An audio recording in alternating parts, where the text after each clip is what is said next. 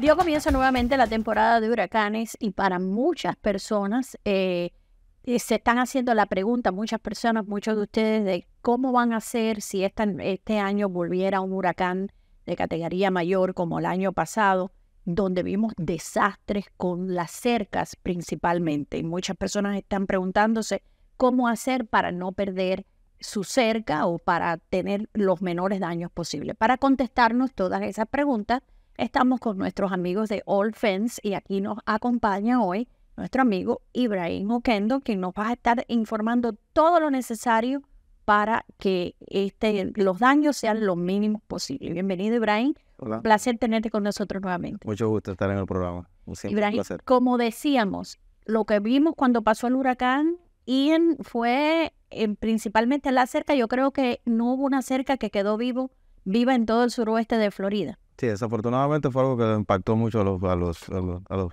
a los residentes porque es un, en categoría 5. Mucho tiempo no se veía algo así en la ciudad, solo fue algo que impactó mucho y hubo mucho daño. Ok.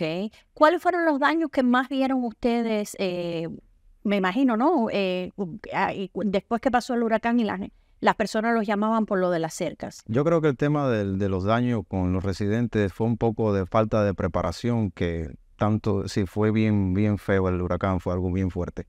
Pero creo que todo el mundo pensó que el huracán no iba a pasar como pasó y nadie se preparó, porque yo, sinceramente, nosotros, por lo menos yo no me preparé. Es decir, yo no preparé mis cercas, yo no preparé mi, warehouse pensando que, porque el pronóstico era que no iba a pasar, pero eh, existen, es decir, acciones que uno puede tomar para estar preparado por un desastre natural, para decir que el, el daño sea un poco eh, menos como lo que pasó. Y normalmente los daños bien eh, eh, sustanciales fueron en las cercas que son privadas, que son las cercas que soportan el viento, que son las cercas que dan privacidad en las propiedades, como las plásticas, las de metales. Y como ya digo, los residentes no estaban preparados, pues estaban la cerca al- eh, expuesta al- a los vientos del huracán, que eran vientos que esa cerca no lo aguantan. Claro. No lo aguantan porque, como una vez le expliqué en el programa, el, el- el- el suelo en Cape Coral, en, en Southwest de Florida, es arenoso, mucha arena, es muy blandito. Y lo que pasa es que los postes, cuando le da mucho el viento, dan para un lado y después para el otro, eso es algo que mm, desafortunadamente no aguanta. Entonces lo que nosotros recomendamos es que los clientes eh, remuevan parte de la cerca, paneles que vienen atornillados, que eso permite que pueda circular más el aire y, y puedan aguantar y resistir más el- el- la fuerza de los vientos.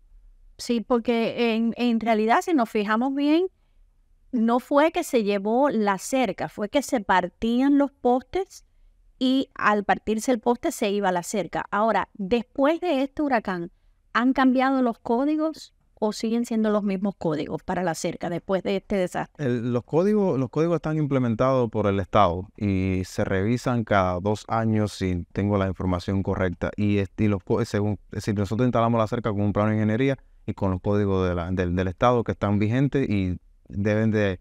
Pero es que es un desastre natural, no aguantan los screens, no aguantan las piscinas, no aguantaron las casas que estaban en pie con bloques, no va a aguantar la cerca. Claro, claro. Hablabas ahorita, eh, antes de entrar en, en- en- en- un poquito más a fondo de qué podemos hacer para, para tratar de, de que la cerca no se nos lleve. He notado mucho también de que hay muchas personas que tenían cercas, ya sea de metal o de madera, que han optado ahora por las cercas tejidas, las, fence. ajá, eh, porque dicen que estas aguantan un poco más. Es lo, lo que pasa, el, el tema de, de lo que le decía, la el- el- cómo circula el viento eh, cuando va cuando viene un desastre natural de ese tipo. Eh, la cerca de PIB de Chainlink, como usted puede ver, las cerca de Chainlink son abiertas, no tiene, no tiene nada que pueda decir que el aire lo destruya y que se pueda haber un daño en los postes, porque circula el aire entre los, entre los piques. Ese tipo de cercas sí tienen daño, lo que es cuando cae una mata, cuando viene un baño volando y le da un golpe. Si muchos vivieron muchos daños esa propiedad, por ejemplo, los condominios que usan mucho ese tipo de cerca, pues sí tuvieron varios daños porque caían muchas matas, ya les digo, los baños, los carros, si vean botes dando vueltas, imagínense. Y ahora los clientes han optado por, ya se dieron cuenta, es decir, es más económico el precio de ese tipo de cerca porque no es privada y, y e- ellos pueden protegerla, pueden ponerle matas alrededor, vegetación que pueden eh, obtener la privacidad que ellos andan buscando y una vez si vienen el ciclón, pues la aguanta un poco más. Claro.